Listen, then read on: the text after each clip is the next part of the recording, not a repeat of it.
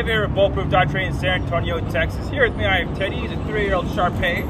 His dad is dropping him off because he's just got some bad manners, uh, like pulling on the leash, running through doors, jumping on people.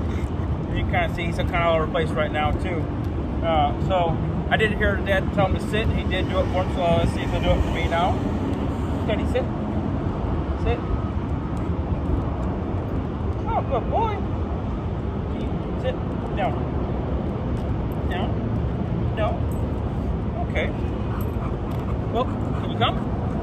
Come. No? Alright, let's go for a walk.